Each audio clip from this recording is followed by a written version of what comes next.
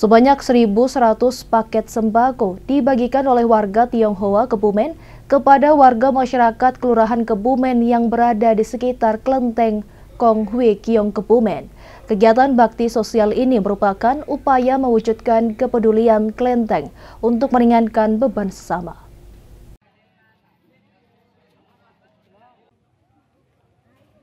Kelenteng Kong Hui Kiong Kebumen bagikan ribuan paket sembako kepada warga masyarakat Kelurahan Kecamatan Kebumen yang berada di sekitar Kelenteng.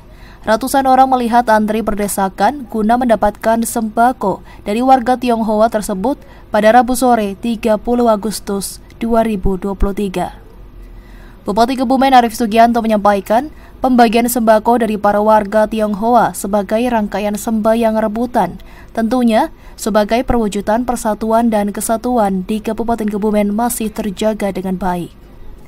Ini merupakan kearifan lokal yang harus dijaga bersama, meski banyak perbedaan seperti suku, ras, dan warna kulit, serta perbedaan agama jangan sampai menimbulkan perpecahan, namun saling menguatkan.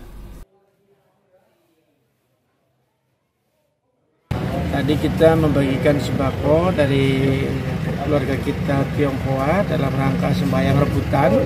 Tentunya persatuan dan kesatuan dan kerukunan di Kabupaten Kebumen masih terjaga dengan baik. Ini merupakan kearifan lokal. Sangat benar sekali, jangan sampai kita karena perbedaan suku, ras, dan agama, warna kulit, bahasa menjadi perpecahan di antara kita justru semakin saling menguatkan. Saya Bupati terutama ucapkan terima kasih kepada teman-teman Tionghoa yang terus mendarmakan beberapa hasil uh, rezekinya untuk keluarga kita yang lain.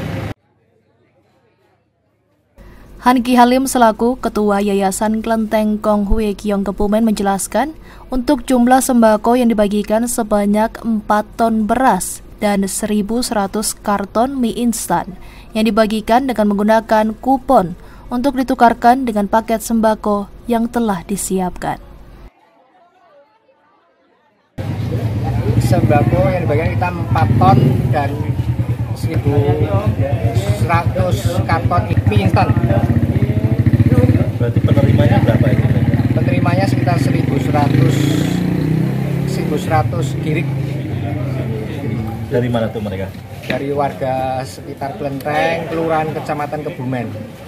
Tujuan kegiatan ini salah satu bentuk kepedulian kelenteng kepada warga sekitar. Salah satu tujuannya ikut berbagi, meringankan, meringankan warga sekitarnya. Para penerima sendiri merupakan warga Kelurahan Kebumen yang berada di sekitar Kelenteng. Dengan adanya kegiatan bakti sosial pembagian sembako ini merupakan upaya guna mewujudkan kepedulian kelenteng untuk meringankan beban warga sekitar.